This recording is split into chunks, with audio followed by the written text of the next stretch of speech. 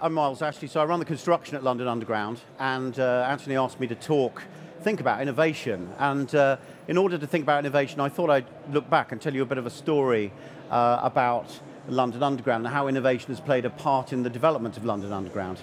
Uh, now, my team have two favorite pictures. I'll show you one at the end of this presentation.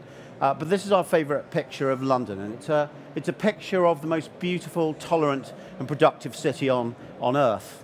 And the numbers actually are very significant. So we transport 1.3 billion passengers a year. That's something like 4 million passengers uh, a day.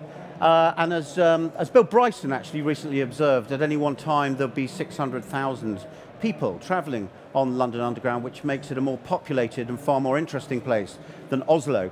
And if it was just about big numbers, if it was just about big numbers, I think that would be fine. But the issue really that we face every day is growth, because um, uh, actually, uh, every 35 years, if you go back to 1863, the amount of passengers that we're dealing with broadly doubles, which is very significant. You can see here uh, that in 2009, we were thinking that it might go up by about 20% in, uh, in 20 years.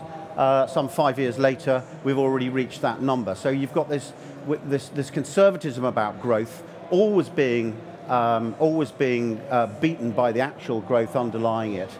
And, uh, you know, we, we, we might have stations where we've got lots of people going through. So Victoria, we've got 83 million people going through that station, 10 million more than the whole of Heathrow. Uh, which of course is, and they say they need another runway, you know, they just need to get a grip, I think. Um, and, but even at the, some of the smaller stations, like Green Park, you can have 27 million people going through uh, you know, what you might consider to be quite small stations, more than uh, you know, each one of those uh, terminal buildings at Heathrow. And of course, you know, as we grow to 20 uh, to 10 million London's population in, in 2030, there's a sort of wider context as you see the journeys within London going from 9.5 billion uh, to 11 billion. So, you know, really, really significant growth. And that, that growth to 10 million people by 2030 is, is the equivalent to taking Birmingham and chucking it into the middle of that picture with all of the infrastructure and services uh, that that requires. And we see it really in terms of, I suppose, tube trains. So, you know, that's the equivalent of two tube trains a week. Uh, so growth is a very significant issue for us, as is reliability. And if you go back to around 2010 and 2011 as we approach the Olympics. Of course, reliability is a big topic for us. The mayor setting us this target of um, a 30% increase in reliability, which I remember thinking, well, that's impossible, isn't it? But, but actually, you know, I'm pleased to report, actually, that in the last two months we've announced that we've increased it by 38%. So very significant growth in reliability. Um, and, and great, of course, uh, that, uh, you know, if you do cause a delay to the tube, every night you can go to the tube station and pick up an Evening Standard and get a personal uh, development plan uh, for the next day, which is helpful. They are the watchdog. And, and, when I wander around the office, occasionally I come across members of staff uh, with their noses buried in their keyboards, blubbing uncontrollably uh, at, the, uh, at, what's happening to them. Uh, and I, I, I, say that no increase in salary in the private sector uh, can replace the vocation that they are engaged with, and they look at me with, with sad but reflective eyes, which I think means they, they want to stay, they're enjoying it. Um, and we think of this perhaps as a modern malaise, this challenge, this constant challenge around capacity and reliability and keeping London moving. But actually, let me take you back to 1862. Um, and you know, we, were, we had got part of the way with Vespasian's uh, observation that uh, if we build it, they will come. But it was still very much a two-dimensional uh, city. Uh, and actually, if you look at prints from the time, this is a scene of Ludgate Hill, um, which was madly overcrowded. And this, this process of getting people in and out of the city every day was as challenging then uh, as it is now. And you can see in the top right-hand corner an advert for the Standard newspaper, uh, waiting to pounce, even though we didn't exist yet, but, but readying themselves for the onslaught. Um, and several sort of mad ideas, mad ideas came out of that period as to how this, you know, this challenge of moving people in and out of the city could be solved. So this is a solution from Paxton, it's called the Grand Circle, actually anticipating the line of the Circle line about 30 years later, but it could, I, I suggest, really upset your afternoon tea to have that thundering past your window. Uh, and this, a vacuum railway, firing you by vacuum through pipes. Um, no, no real news about how you were supposed to breathe, and I, I imagine it would have caused havoc with your top hat. Um, but you know, people were beginning to, to think about how this might be solved, and into this environment comes this, this, this rather amazing man, Charles Pearson. And Charles was a solicitor to the City of London. Um, he was engaged in all sorts of, um, in all sorts of um, um uh, initiatives, uh, so slavery, freedom of vote, um, for, for, women and um, you know prison conditions. So you see him getting involved in all of his, all his sort of one-man pressure campaign. Uh, but he came up with this idea of the underground railway and moving people underground in tunnels via steam railway from these, um, these outside stations to the centre of London. And you can imagine what that might have looked like to the average top hat wearing horse drawn hoi of Oxford Street. Uh, I mean, it was a mad idea, and there are plenty of pamphlets around at the time uh, you know, pointing to the lunacy uh, of this gentleman. Uh, but actually, Charles Pearson persisted, and um, he didn't actually get to see the first railway opening in 1863 because he died the year before. And typically, he had refused a payment from the railway companies for his idea, um, but that payment was later given to his wife. And then there's Lord Ashfield. Um, uh, and Albert Stanley, as he was, uh, left school at 14, uh, you know, ran the Detroit, started at the Detroit Tram Company. By 17, he's running the timetable. By 21, he's running the company. Um, and uh, actually, by the age of 30, having taken four years off to be in the Navy, uh, he's running the New Jersey Transport Corporation, a company of 25,000 people. But his part in this story is he comes back to London and, and almost single-handedly reshapes the way in which transport in this city works moving together these disparate and sometimes loss-making companies into the Underground Electric Railway Company. And that really is the start of London Underground and, and, and a massive contributing factor to its growth. And Frank Pick, um, again, uh, you know, drives this expansion of the railways through the 1920s and 1930s. With his architect, Charles Holden, you see him heavily influencing the way that you know London to look today. Uh, and if you go back to commentators like Charles um, Nicholas Pevsner at the time, you know, they will point to this man, you know, really driving the way in which London looks. Busy man, also reshaped all the ports in the UK uh, and the canals in the UK and, and all the evacuation plans for London during the war. So he had some sort of extracurricular activity that he managed to fit around this. And they drove this environment of change within London Underground. And, and, and that really drove the way in which the company philosophy is built. And this is Harry Beck, and Harry is famous for um, developing the London Underground map. Uh, and he was just an electrical engineer and persisted with this idea around this map. And I suppose it was the equivalent of an app, a travel app today, because it, it really helped people to understand how to use our system and changed the way in which people saw interconnected travel uh, in, the, in, in, in London. And I just wanted to, I just thought I'd take, take this example to show you how brave some of this stuff was. So this is Morden in, in 1923. And here is the duck farm uh, that existed uh, on the site of Morden Station in 1823. And um, can you imagine going into uh, Osborne's office and persuading him to build a very expensive railway to a duck farm? Um, but that's exactly what these advocates did.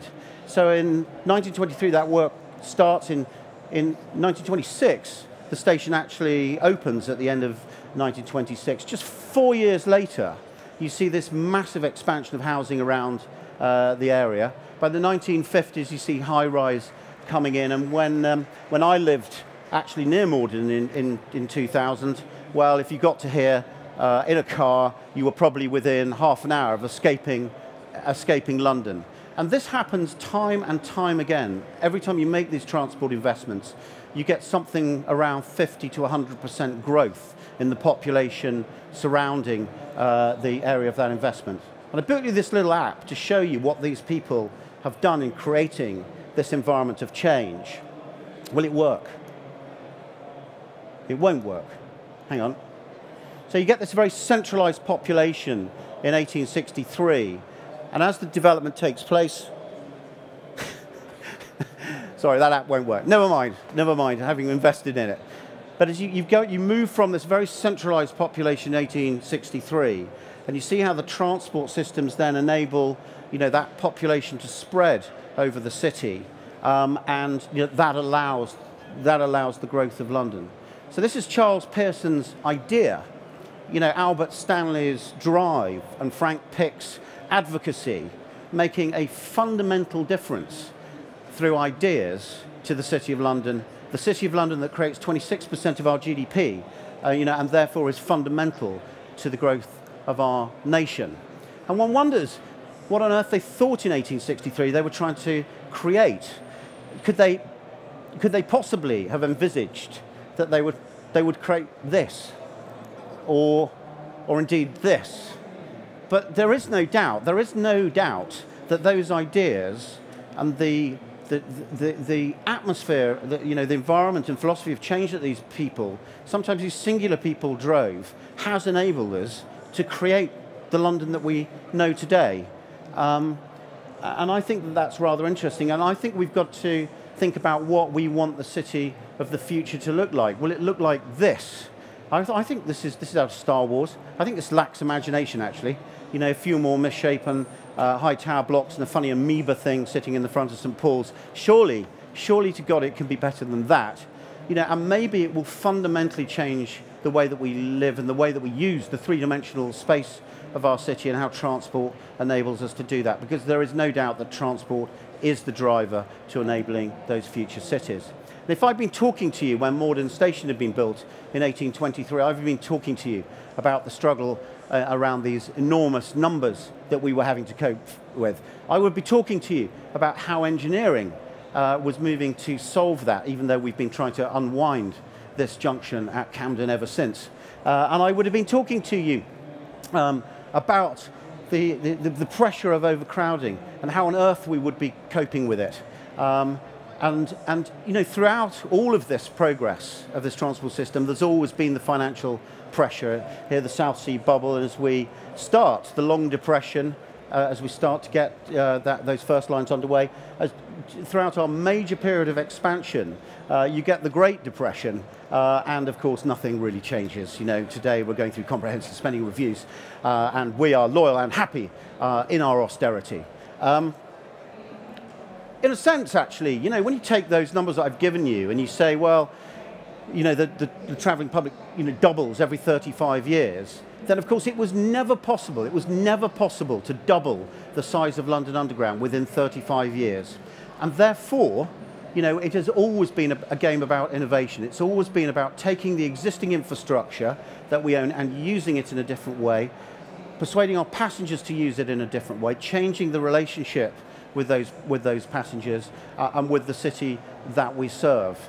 And so, uh, you know, we are essentially, and always have been, uh, a company that is driven by that innovation, that is dependent on that innovation, and indeed London has always been dependent on that, on that innovation. So now we're talking about the digital railway, but I've just shown you actually, you know, you get the, the, the world's first automatic railway on the Victoria line back in 67. And my hypothesis is this, really, that actually at no stage have we been inventing new technology. All of that innovation has been about taking existing technology and configuring it around our problems. And actually that most of the challenge is, is getting the cultural change around people to enable that technology to be used to serve our network. And I wanted to talk to you about you know, four of our current challenges, things that will happen to the transport system that will, will, you know, will start to drive a difference in transport for London and London Underground. And the first one is how this technology is changing the relationship that we have with our customers. So many of you will be familiar with Citymapper, you know, which enables people to gain access to buses and understand that bus network in a way that they've never been able to do. do. So in a, in a kind of Harry Beck-esque way, they've suddenly been given the information to, to drive, um, you know, to drive an understanding of the bus network and how interchange works. Um, and also, I think that digital technology is changing the relationship that we have with our staff. Many of our younger staff coming in now, our apprentices, have never used email, don't use email. Imagine it, it's like taking you, bringing you into a company and inveigling you to use Morse code to communicate with your colleagues. And you know, so, so I think these things will inevitably change the relationship with our customer. I think they will inevitably change the shape of our business and they will change uh, the way in which our company fundamentally works. that digital technology is also changing the way in which we prosecute some of these schemes. This is Victoria, a rather unusual view from the underside, which you don't see every day. But I wonder whether actually we could have solved the technical challenges of Victoria without that digital engineering. But I think we've only just scratched the surface because like nuclear warfare, actually that digital engineering is and will fundamentally change the relationship that we have with our supply chain and how we collaborate with that supply chain and integrate that supply chain. So I think actually over the next five years, you will see this struggle play out between us having to use the digital engineering, but that conflicting with a, a corporate's view about data security and how those two things work. So how do common data environments work where you're trying to you know, fundamentally protect that data? And so you know, that, that's, a, that's a conflict. Um, and we've talked about you know, the way in which these, you know, these communication mechanisms will also uh, change the way we work. And of course, that again causes this conflict between the way that we do things today you know, and the way that our staff, and if we're going to attract the best staff, um, you know, are, are, expecting to communicate and, and, our, communi uh, and our, customer, our competitors are allowing them to communicate. There's also this, then this drive towards capacity, and it's, it's been largely about trying to use the existing infrastructure in a different way to get more capacity.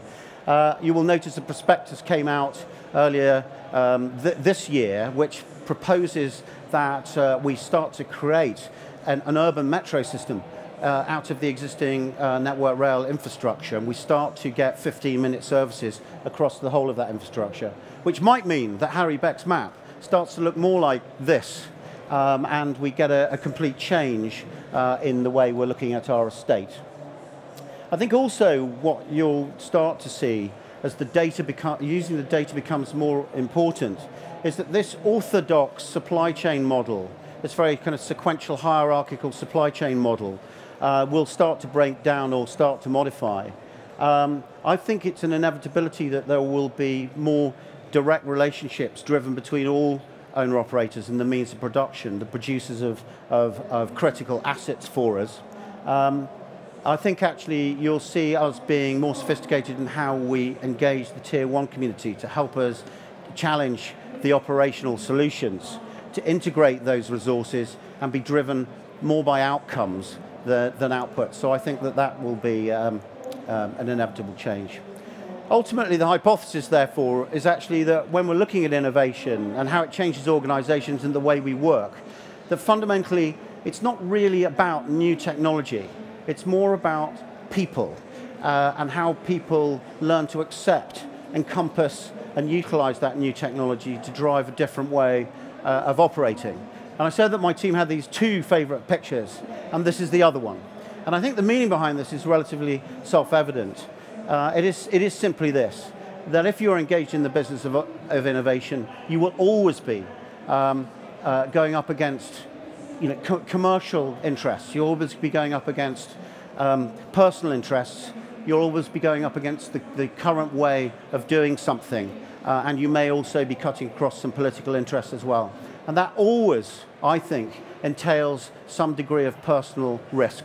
Everybody watching you may not always want you to succeed in that endeavor. Um, and, um, and I think the important thing to do uh, is to be cheerful in that adversity uh, and know that uh, if you're feeling a bit like this, you're probably innovating. Thank you very much for your time. Miles, thanks very much. Um, I, I, uh, I, I, do recognise the fact that you do have to keep smiling in your adversity, but no, thanks very much. It, it is very interesting to look at, I suppose, how far we have come from the old days. But it, I suppose one of the things which I, um, I do reflect on with, with London Underground, it was, you know, when it all started, it was all done by private individuals who had big visions. Um, do you think that we need to go back to this whole notion of uh, private investment uh, with big ideas rather than, I suppose, the, um, uh, the publicly funded model we have at the moment? Yeah, I think ultimately, yeah, I, I, think you're right. You know, one, it was American money. If you look, if you look back in time, so it was the power of American money, driven by these rather singular individuals, which created this environment of change. Um, it was pioneering in that respect. But actually, it's about the way we tell the story. I think. So um, if we look back in history over, say, the Jubilee Line extension and Canary Wharf, then actually, you know, the business case for the Jubilee line extension at the time was 0.93. So we weren't even going to get our money back. There was no regenerative uh, element to that. But, you know, can you imagine a London without Canary Wharf?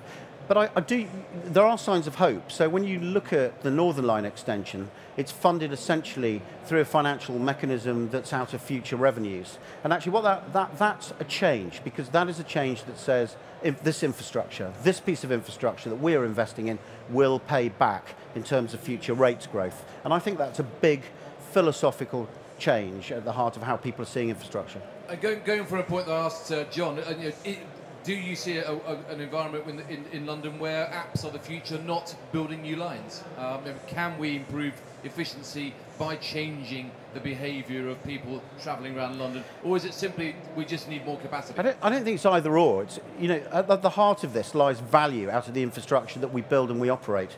So as we start to get those apps, and there are 500 travel apps, we have 6,000 registered designers, and we put our data on free release. Now, as we start to develop that data, let's say around crowding data, people will have more choice about how, you know, the route that they take to enable them to use the infrastructure in a completely different way. And I think you see some of that emerging. So you've got these consolidation apps around bus services now emerging across the world where there aren't fixed bus routes, but the bus goes to where the demand lies. And you, you might imagine a rail uh, you know, a rail system of the future, sending that rolling stock to where the demand is greatest, rather than you know, having these fixed, rostered timetables. It's a scary, chaotic future. Um, we're bang out of time, but uh, is there a quick question anyone wants to put to Miles before he legs it off? No? Okay, Miles, oh, there is, just a moment, one moment.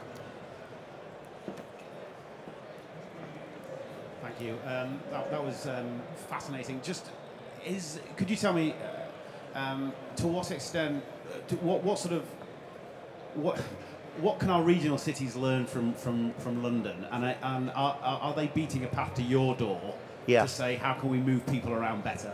Yeah. I mean, I think uh, so. There's a few things that I think devolution in those other cities will bring. The, the, you know, the first is that they will be more in charge of their destiny with regard to regeneration.